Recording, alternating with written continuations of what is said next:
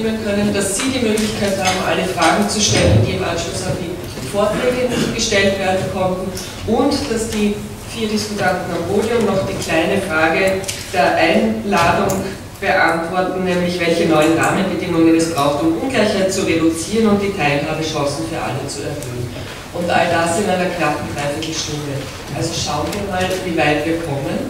Drei der Diskutanten kennen Sie ja schon. Den vierten darf ich Ihnen jetzt auch noch für die, die ihn nicht in diesem Rahmen ohnehin kennen, kurz vorstellen. Er ist zu mir gekommen in der Pause mit der Selbstvorstellung, er sei der Böse hier am Podium. Peter Kutauzig ist Investor, Firmengründer, Künstler und Forscher, derzeit CEO eines Börse, jetzt hätte ich was böse gelesen, börsennotierten Finanzkonzerns im Technologiebereich, ist aber auch Mitbegründer des Club of Vienna und war Freund Robert Riedels. Sie haben mich wissen lassen in der Vorbereitung, was Sie gerne in die Diskussion noch einbringen würden, ist der Cantillon-Effekt. Darf ich Sie auf den gleich ansprechen? Der Cantillon-Effekt, so benannt nach dem französischen Ökonomen Cantillon aus dem 17. Jahrhundert, wenn ich es jetzt richtig in Erinnerung habe, wollte das ganz kurz ausführen und, und sagen, warum Sie finden, dass das wichtig wäre, in dieser Diskussion auch noch zu beachten. In drei Minuten bitte. Ich wollte nur sagen, wir haben jetzt äh, wie beim Fußballspielen sehr viel darüber gehört, wie groß das Fußballfeld ist, warum das Fußballfeld rechteckig ist und nicht rund und warum man es nicht sechseckig machen könnte und ob man sechs Spieler oder 200 Spieler aufs Feld schickt. Also das alles ist sehr interessant und kann man natürlich endlos lang diskutieren. Ich bin hier der Fußballspieler, also ich habe die Regeln so, wie sie sind, zu übernehmen und habe dann mein Spiel zu machen. Und es ist auch interessant, dass heute schon das Wort Spieletheorie gefallen ist. Es gibt eine Spieletheorie und eine Spielepraxis. Also der Fußballspieler am Feld, der beschäftigt sich selten mit der Theorie, aber sehr viel mit der Praxis, indem er schaut, was da ist. Und nun sind wir auch beim Cantillon. Richard Cantillon auch ein äh, weithin heute nicht allzu bekannter äh, Theoretiker, der etwas gesagt hat, was bei Ihnen, Herr Moschlik, auch vorgekommen ist, die Fließgeschwindigkeit des Geldes. Er hat das Geld irgendwie mit einer Flüssigkeit verglichen, was sehr viele naturwissenschaftsnahe Denker und Beobachter machen. Das Geld fließt, sagt man. Es fließt aber auf zwei Arten. Es fließt Geld gegen Geld oder Geld gegen etwas Reales. Das nennt man die Realwirtschaft.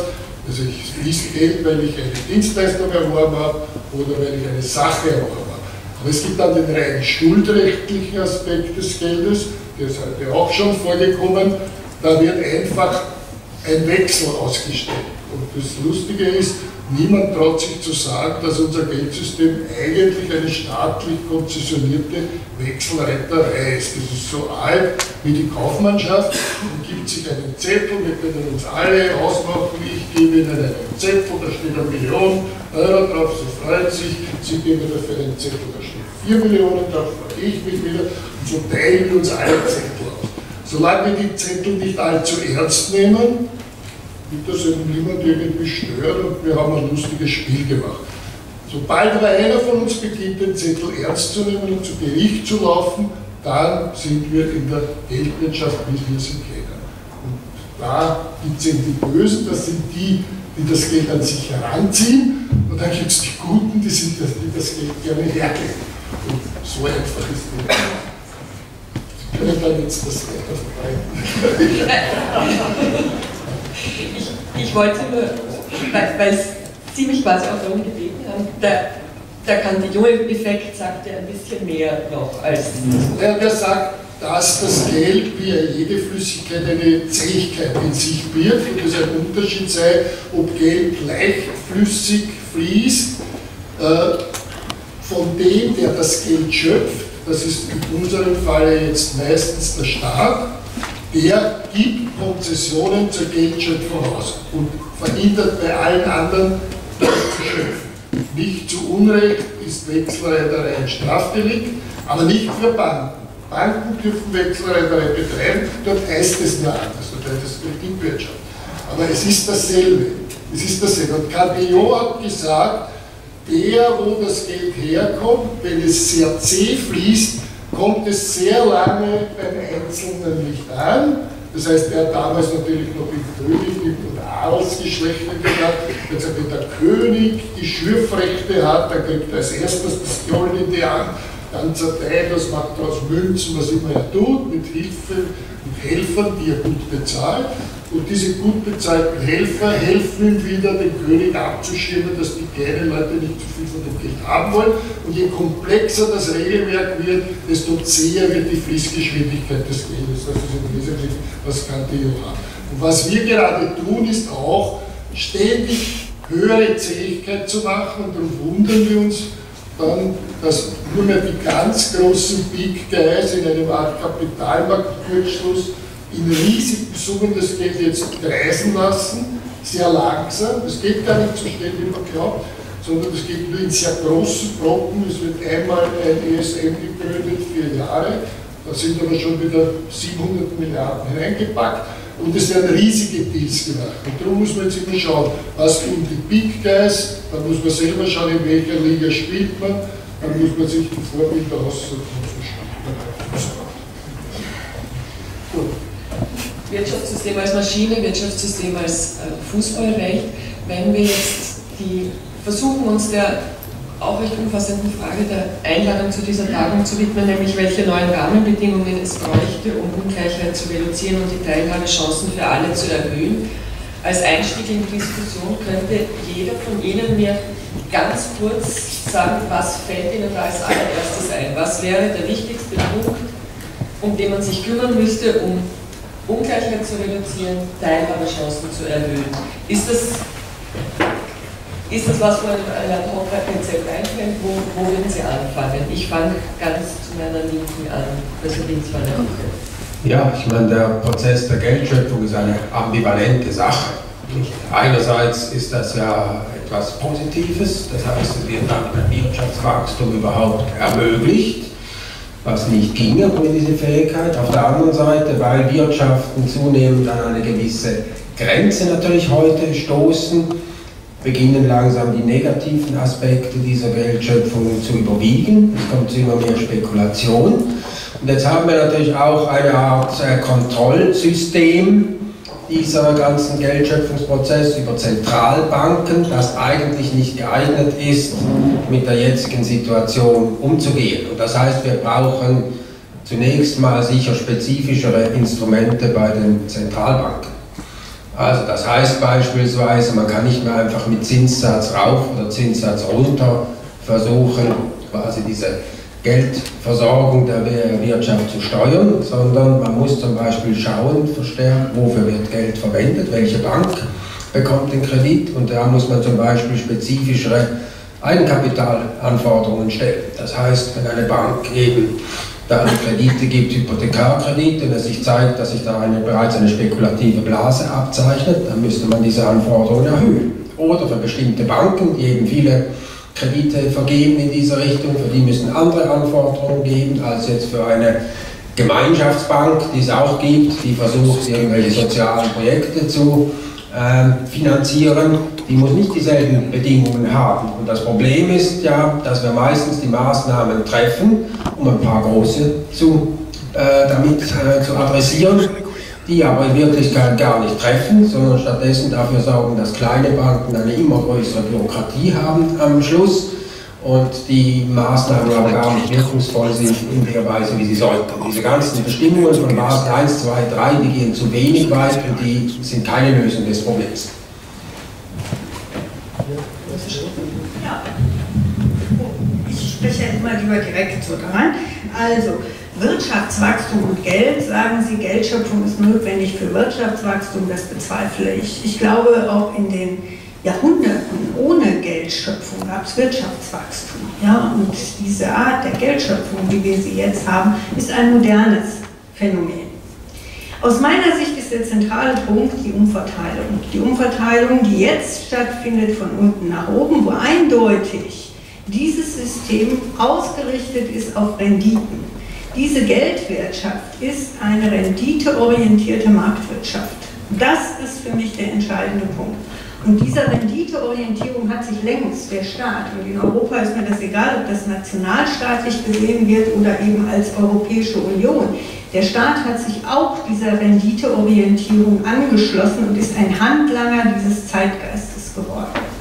Wir alle sind Handlanger des Zeitgeistes. Wir können uns nämlich nicht die Hände reinwaschen und sagen, okay, ich bin gut oder schlecht.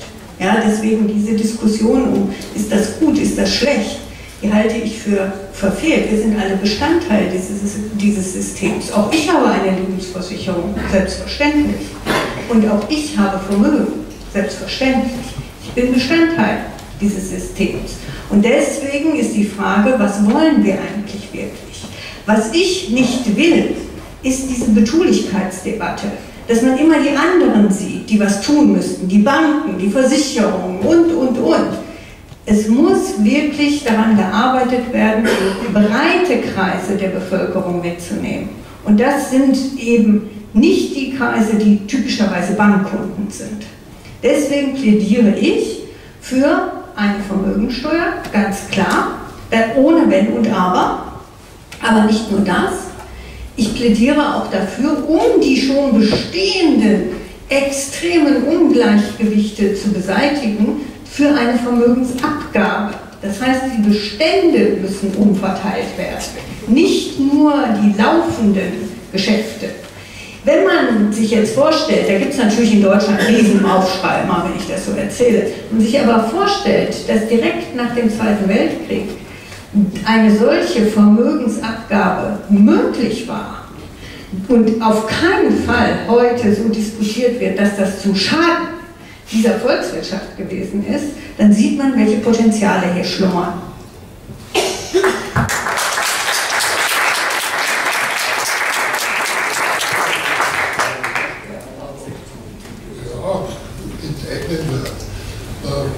Ja, wird eh ständig es wird aber auch ständig angeeignet, sollten wir auch nicht ganz vergessen, nämlich jene, die die anderen enteignen, gründen natürlich Institutionen, um das durchzuziehen und die leben auch nicht schlecht.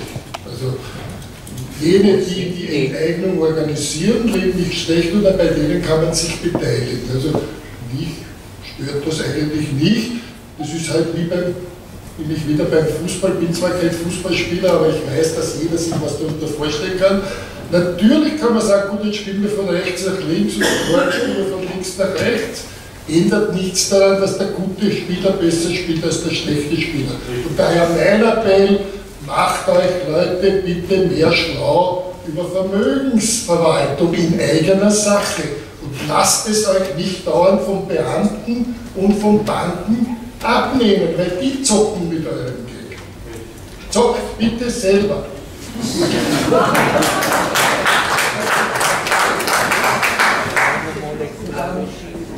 Ungleichheit abschaffen durch selber zocken oder naja, einfahren. Wenn man, wenn, man von der, wenn man von dieser aberwitzigen Fiktion sich leiten lässt, dass eine Welt mit lauter gleich guten Fußballspielern denkmöglich ist.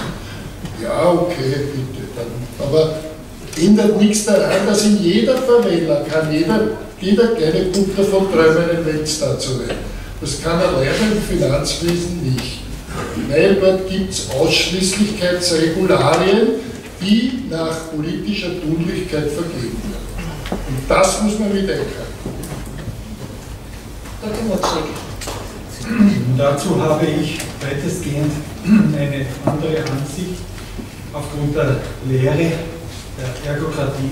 Äh, da besteht also die genaue Vorstellung, was ist überhaupt besteuerbar, nicht einmal das, denn besteuern, ich habe dieses Wort nicht gern, äh, es klingt wie besteuern, es klingt wie äh, oder verzinnen, vergolden, ver, versteuern und so weiter, das sind so Euphemismen und Beschädigungen.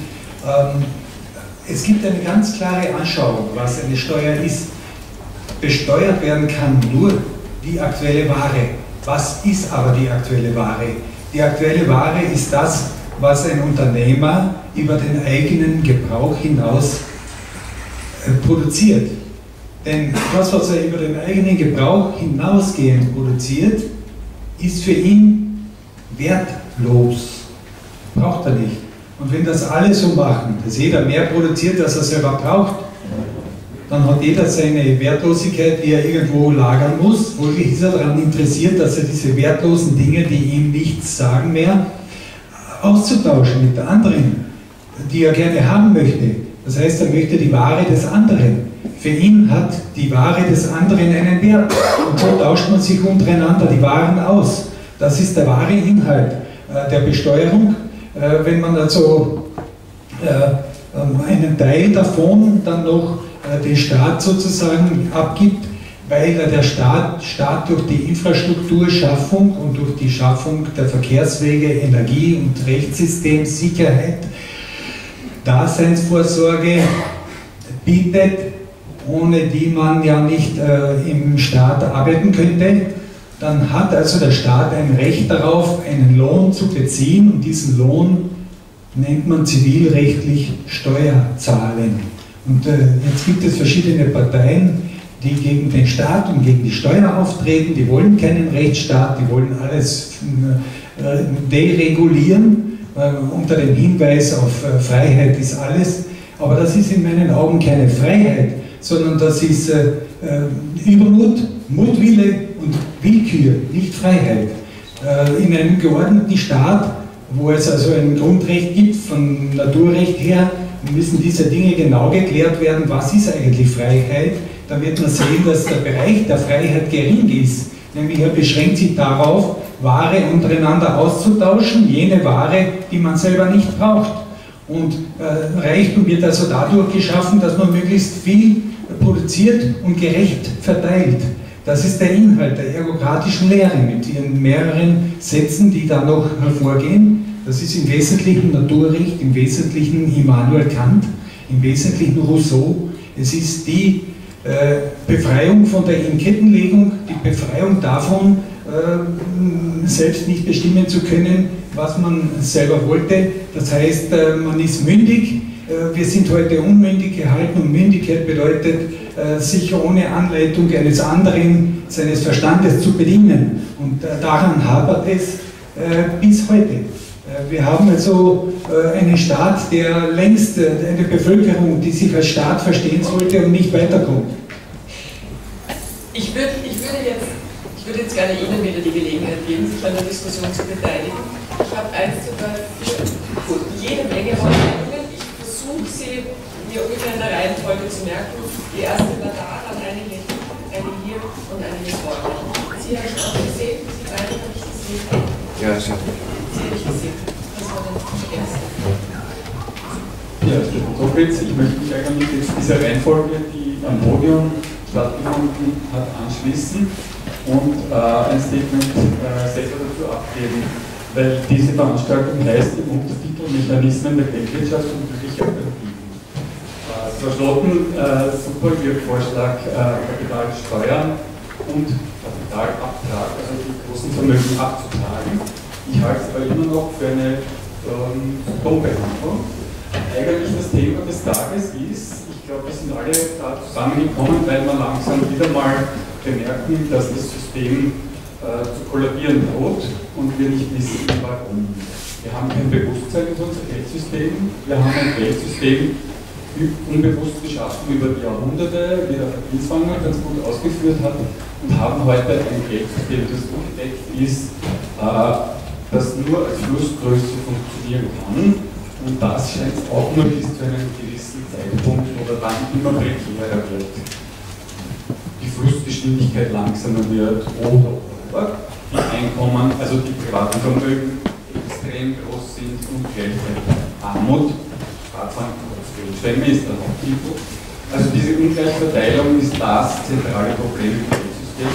Und ich, wenn ich es mit einem Wort sagen müsste, äh, halte in der Analyse das Wort Kapitaleinkommen für das unanständige überhaupt und für den, äh, das zentrale Problem an unserem Geldsystem. Ich behaupte, solange ein Geldsystem Kapitaleinkommen ermöglicht, ist keine demokratische Gesellschaft möglich als äh, Kapitaleinkommen sind vielleicht kein großes Problem in der Anfangsphase einer Wirtschaftsentwicklung, aber spätestens ab in unserem letzten Zyklus, würde ich sagen 1970, 71, hätten die Kapitaleinkommen auf Null sinken müssen. Sie haben es aber nicht getan.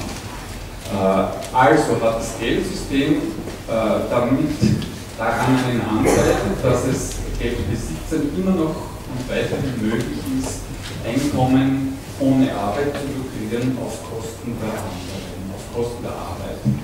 Das halte ich für das zentrale Problem.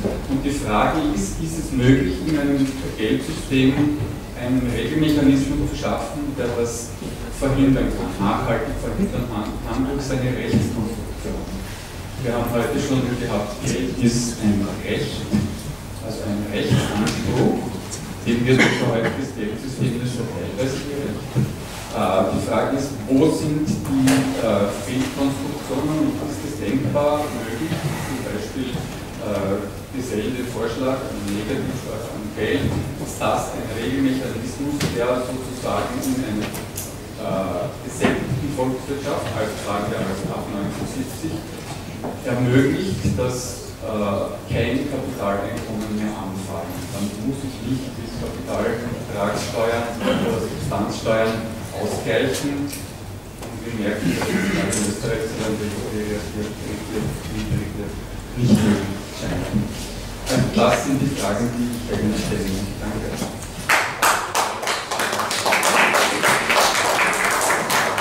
Ich würde gerne ein paar Fragen sagen, wenn es so viele Meldungen gibt. Wir haben es mit der Herr, der hinten steht. Ich weiß nicht, ähm, Herr Kuderzek, immer wollte ich sagen, ich habe mich versucht zu informieren, wie, ich mit Geld umgehen soll. Wahrscheinlich ist das ein Grund, warum ich nie eins habe. Ähm, ich wurde beraten von Spezialisten.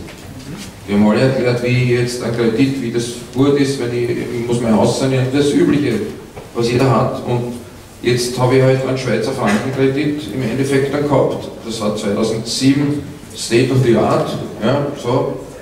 Und jetzt habe ich ein Problem. Also ich, ich habe versucht, mich informieren zu lassen. Bin zu Spezialisten gegangen. Das ist nicht meine Frage. Meine Frage ist, ähm, ich bin mehr oder weniger auch Unternehmer. Ich habe das Problem ähm, zu beobachten, dass die Einkünfte der Unternehmer, die Umsätze der Unternehmer schwanken, weil einmal ein Projekt funktioniert und einmal nicht. Aber die Abgaben an den Staat äh, bzw. Die, die Verwaltungskosten schwanken nicht. Die Beamtinnen und Beamten, äh, bei aller Wertschätzung für diesen Beruf, wir brauchen sie, das, das sehe ich auch ein, aber die schwanken nicht, die verhandeln jedes Jahr um eine Lohnerhöhung. Wie, wie soll, wie, ich kann nicht jedes Jahr eine Lohnerhöhung verhandeln als Unternehmer.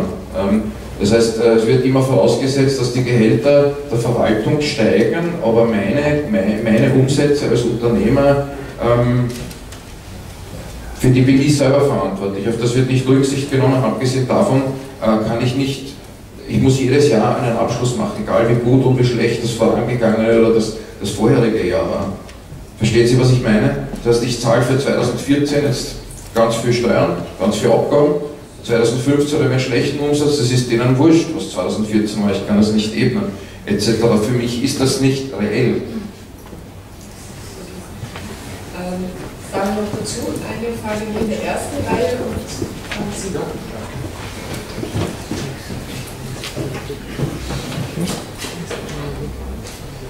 Ganz besonders möchte ich mich äh, bei Frau Schotten bedanken. Das war für mich als Nicht-Ökonom gar nachvollziehbar, wie die renditenorientierte Geldwirtschaft eine Steigerung der Ungleichheit, die sie auf Binsenweisheit mit sich bringt. Als äh, Sozialpsychiater, der sehr viel mit äh, der Verliererseite, der immer stärkeren sozialen Schichtung zu tun hat, weiß ich sehr wohl so im Fahrwasser von Kate Pickett, äh, äh, Gleichheit ist Glück, das kennen fast alle wahrscheinlich, äh, dass, äh, dass die Randgruppen, sage ich jetzt, wie die 30% Arbeitslosen in der EU oder die Pensionisten oder die oder psychisch Kranke und so weiter, dass die eindeutig immer schlechtere Lebensbedingungen haben, dass die Volkswirtschaft, das weiß auch die Weltbank, schlechter funktioniert bei einer stärkeren vertikalen Schichtung. Und die Frage ist, warum äh, solche Empfehlungen wie Ihre Vermögens, äh, Ihre Idee von der Vermögensbesteuerung äh, so wenig Wählerstimmen bringt. Das heißt, warum ist die Visibility der Anhäufung des Reichtums in breiten Schicht der Bevölkerung so gering? Warum wählen große Wählergruppen eigentlich eine Finanzpolitik, die gegen ihre Interessen gerichtet ist? Haben Sie dazu was zu sagen? schon ganz viel, aber ein, Maximilian ganz kurz. Also zur Frau Schoten beziehungsweise.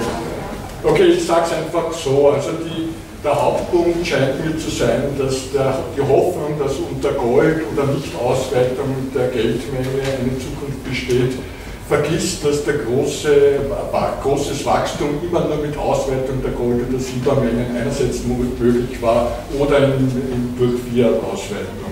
Und auch die modernen Gelder, die jetzt gerade entstehen, also Turing-Kryptocurrency wie Bitcoin oder Ether zum Beispiel, sind deflationäre Währungen und werden damit eher zum großen Problem sein. Hinsichtlich der denkbaren Möglichkeiten der Auswertung würde, würde, ich sehr bezweifeln, dass es möglich ist, das nach Sorten zu kontrollieren, weil man das sehr leicht umgehen kann. Der einzige Punkt, den ich als Antwort anbieten kann, und damit komme ich zum Schluss, ist der, dass ich sage, wenn wir nur unter Koalitionären uns darüber unterhalten, wer am Leben bleiben darf, dann haben wir 49 Prozent Tote. Und das ist die Dynamik, in der wir derzeit sind. Wir brauchen also eine ökonomische Perspektive, die von allen für alle gedacht ist und nicht ausschließlich über, über einzelne Personen. Und dafür zu schaffenden Strukturen werden letztlich nur durch Steuern möglich sein, weil das zwingt nämlich auch von den Cayman Islands Geld zurück zu transferieren, wenn man hier damit Steuern zahlen muss.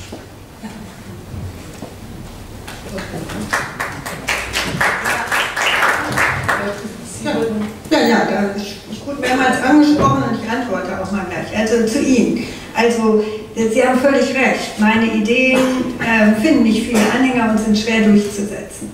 Aber Ihre Idee mit der Abschaffung der Rendite halte ich für mindestens so unrealistisch. Also, das äh, ist so. Ne? Mit der Vermögensteuer ist es aber ganz interessant. Es gibt äh, zunehmend Debatten darüber, ob man die nicht wirklich einführen soll aber eigentlich nur zur Stützung des Systems. Das ist genau das, was ich versucht hatte, auch im Laufe meines Vortrags klarzumachen. Veränderungen gibt es immer wieder nur, um diese Rendite größer als G, also Wachstum, aufrechtzuerhalten. Wenn sich das jetzt mantramäßig, wird es ja im Moment durch die Medien gejagt, Piketty sagt, also wir brauchen Umverteilung. Wenn sich das rumspricht, dann kann es sein, dass es in Maßen Umverteilung gibt, aber nur um R größer G zu generieren. Weil, das haben wir ja heute hier gehört, die Leute, die viel Geld haben, fragen nicht mehr viel nach, weil sie schon viel Klimbim haben. Also ist es besser, wenn diejenigen, die wenig Geld haben, auch mal ein bisschen Geld kriegen und dann eben nachfragerelevant werden. Das ist aber der ganze Mechanismus und die ganze Story. Das heißt, hinter dieser Idee der Umverteilung, so wie sie auch im Zusammenhang mit Piketty und mit den Armutsstudien gebracht wird, steht eine Stützung des Systems, auf keinen Fall ein Systemwechsel und es steht vor allen Dingen in den allerseltensten Fällen nur eine ethische Fundierung dahinter. Die ethische Fundierung leitet sich ab, wieder aus R, größer als G. Also es geht nicht darum, wir wollen, dass Menschen hier besonders gut leben oder sonst etwas. Das ist etwas, was sie nicht hören.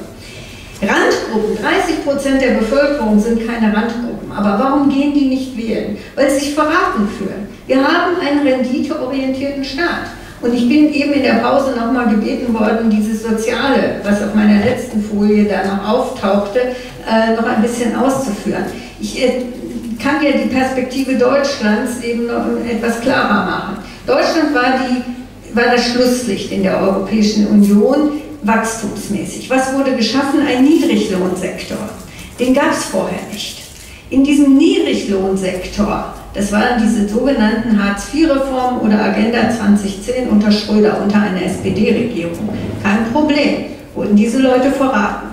Also, es wurde ein Niedriglohnsektor geschaffen ohne Mindestlohngrenze.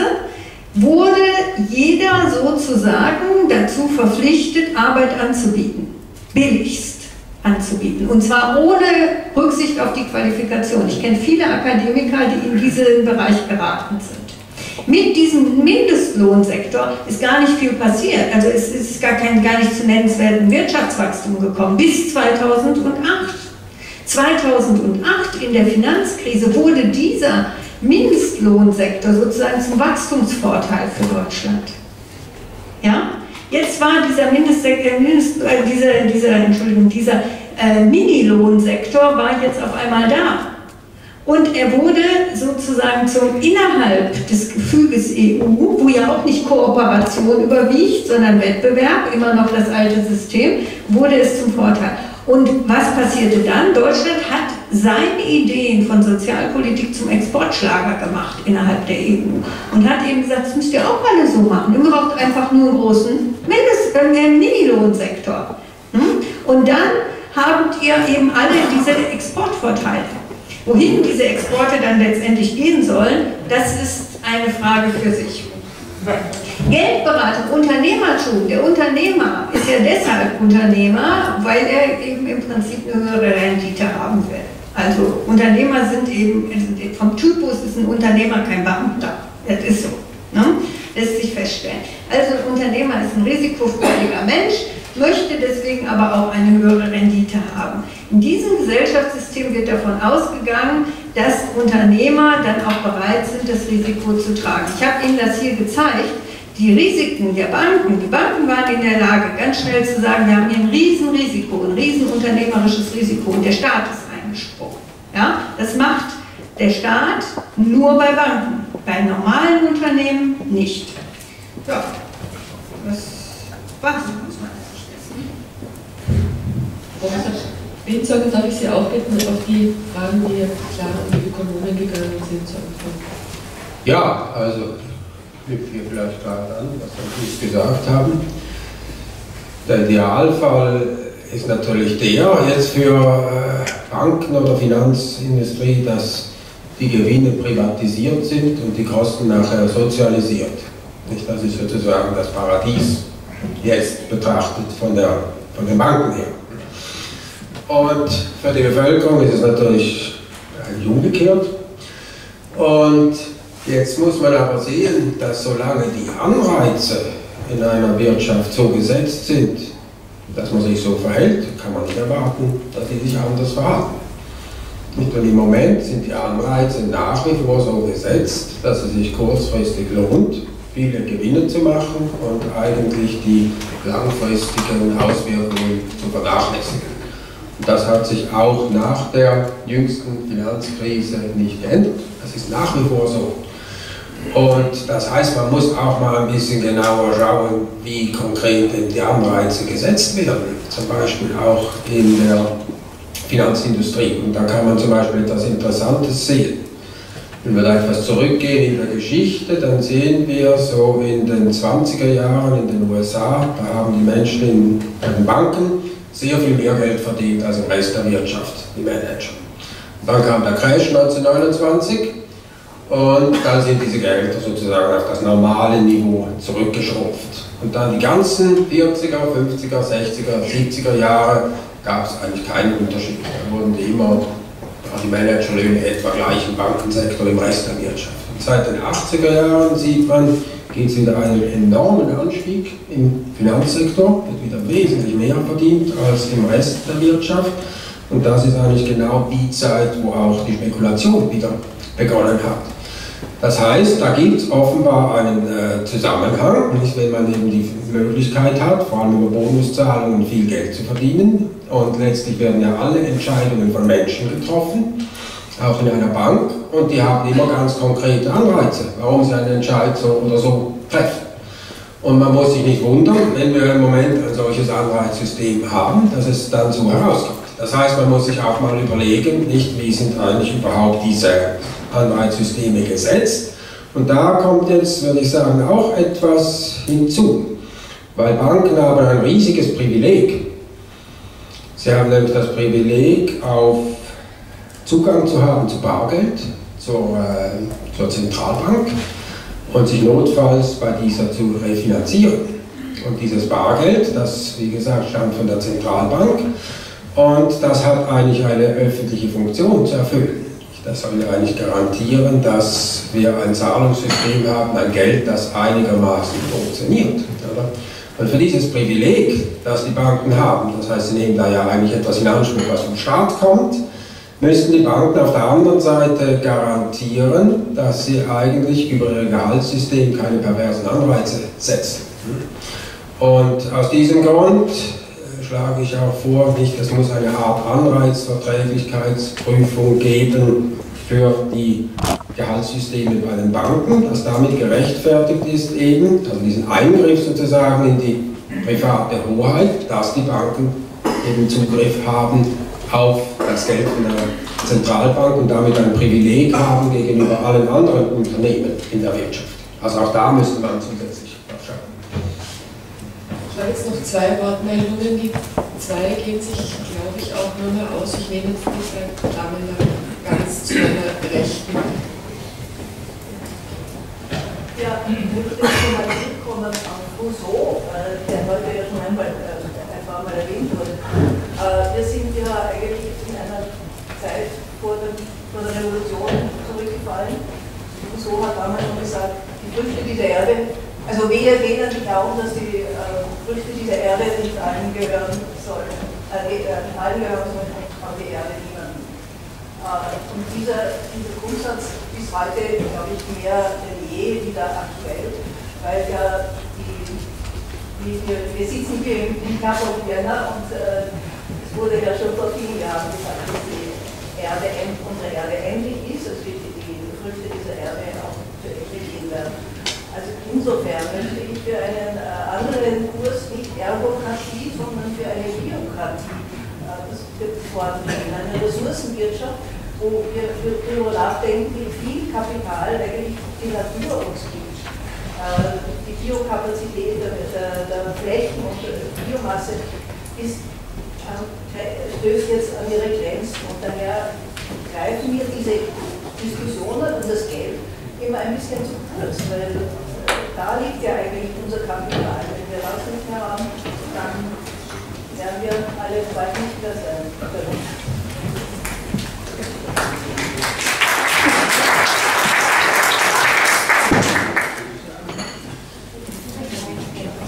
Also in meiner Verantwortung für ein Industrieunternehmen zwei Beobachtungen, eine Frage. Ähm, die Wirtschaft hat ja die Aufgabe, die Menschen mit Gütern und Dienstleistungen zu versorgen. Und äh, ich habe da beobachtet, dass wir, wenn wir uns nicht gut abstimmen, wenn wir nicht den Bedarf der sämtlicher Stakeholder oder an der Wertschöpfungskette beteiligter Menschen kennen, wenn wir nicht wirklich miteinander geschwisterlich ins Gespräch kommen, dann erzeugen wir Überproduktionen, Inflation und respektive auch wieder Unterproduktion, Deflation. Also es ist ein ständiges äh, Rauf, runter, rauf, runter, weil wir nicht miteinander in eine gewisse Absprache kommen dürfen, zum Teil kartellrechtlich, und äh, daher äh, Probleme erzeugen, die wir, wenn wir die Fähigkeiten dafür bilden würden, auch uns richtig abzustimmen, äh, vermeiden könnten. Und das andere ist, wenn man sagt, äh, Sparzwang, also ich höre bei allen Beiträgen, der Zwang entsteht ja, wenn wir, wenn wir zur Einsicht nicht fähig sind, also wenn wir unsere Fähigkeiten nicht bilden. Und ich bin durchaus auch für eine Vermögenssteuer, selbstverständlich. Äh, es ist irgendwo nicht mehr, nicht mehr sehr weit hergeholt.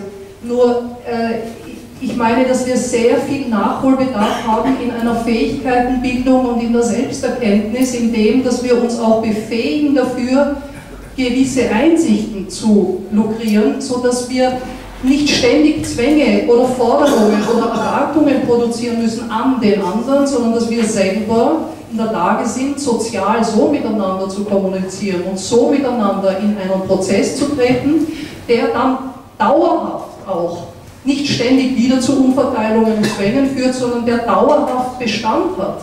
Also das ist mein, mein Wunsch an uns, dass wir entlarven, dass Geld eine Riesenprojektionsfläche ist, dass wenn ich gierig bin, kriege ich es vom anderen gezeigt. Wenn ich geizig bin, kriege ich es vom anderen gezeigt. Wenn ich immer knapp bin, hat das was mit mir zu tun. Und das heißt, ich muss mich bilden. Und diese Bildung würde ich wirklich gerne als eine Frage an Sie richten. Wo sehen Sie die Aufgaben, die Möglichkeiten der Bildung der Menschen, dass, sie so, dass wir zu, einer, zu einem wirklich dauerhaft besseren Ergebnis kommen? Ich darf mit dieser Frage in eine letzte Runde am Podium gehen. Wir müssen leider in einer in vier Minuten Mittagspause gehen, damit ich das alles ungefähr ausgeht, wie viel Programm ist. Ähm, die letzten beiden Fragen beantworten was Ihnen so noch aufgefallen ist in der Diskussion, wenn Sie jetzt von nach links ein kurzes Schutzstatement Ja, also Sie sagten Biokratie. Mir wurde schon so vieles vorgeschlagen. Es gibt auch eine ja, Kratien ohne Menge, ohne Ende. Und äh, ich möchte das Problem so vergleichen. Es ist hier eine Menschheit, die ständig scheitert an der Aufgabe, eine Brücke zu bauen von einem Felsen zum nächsten und versucht alles Mögliche und jedes Mal, wenn das Wetter umschlägt, reißen die Seile und die Brücke stürzt ab da kann ich nur sagen, schlau machen kann man sich nur im Maschinenbau, in der Architektur. Dort gibt es das Ritterschnittverfahren, äh, Cremona-Plan, wie baut man eine Brücke, welche Stäbe sind die Zugstäbe, Druckstäbe, wie rechnet man das? Man braucht die ganze Mechanik dazu, heißt einsteigen in die Geometrie und stucken, stucken, stucken. Und genau das fehlt. Denn hier haben wir genau dasselbe Problem. Es steigt niemand ein in die Problematik des Geldproblems, das so schön beschrieben worden ist von Heinrich Färber, wie von keinem anderen. Es gibt keinen Autor, der diese Thematik so eindringlich klargemacht hätte. Äh, und das ist so etwas wie Geometrie vom Feinsten. Man hat dann die Grundlagen, um eine Wirtschaft bauen zu können, die Tabula Rasa macht mit allem, was bisher da war und wir können dann sozusagen die Menschheit noch einmal neu konstruieren. Und das müssen wir je früher, desto besser beginnen, denn sonst stürzen wir wirklich ab. Mehr möchte ich dazu nicht sagen. Okay. Heinrich Färber lesen, Tabula Rasa macht und Wirtschaft neu konstruieren, Dr. Motschnik. Äh, deshalb, ich würde davon warnen, den Menschen wieder einmal neu konstruieren zu wollen. Das hat schon sehr viele Tote gekostet. Aber ich noch zwei Antworten an den Kollegen Dr. Fetzter schuldig. Erstens, wenn man einen Bankberater fragt, kriegt man die Meinung, was für die Bank gut ist. Zweitens, wenn Ihnen zu mühselig ist, Unternehmer zu sein und es keinen Spaß mehr macht, werden Sie Beamter oh, oh, oh, oh, das ist aber sehr vermehrt. Als ob es so leicht wäre. Ja, das ist, ja, genau, das, das danke. nicht zu lange. Selbstverständlich sehen wir dort, dass es da schon wieder Privilegien gibt. Das, der eine kann es werden, der andere nicht. Da gibt es natürlich, kann man alles diskutieren. Aber es ist eben so. Es gibt für alles immer Abgrenzungen. Und die Kunst oder der Sport oder was immer Sie mögen, ist eben für das Richtige die richtige Methode zu suchen. Ich bin Künstler und Investor. Fürs Geld verdienen kann ich kein Künstler sein. Ja, warum eigentlich? Warum kann ich denn eigentlich nicht für als, äh, als Künstler Geld verdienen? Gibt es durchaus auch welche. Das ist keine also, Ja, das ist eine Sache für sich. Ne? Also, das ist eine interessante Fragestellung. Er hat übrigens einer meiner, äh, ich habe eine tolle Ausbildung damals an der FU Berlin bekommen, also ging es vom Marxismus bis absolute Neoliberale und Werner Pommerene ist einer meiner großen äh, Profs gewesen, bei denen ich unterrichtet wurde und der hat eben über Kunst und Geld sehr viel gemacht. Ähm, ich fand das einen sehr Hinter äh, eine sehr gute Bemerkung.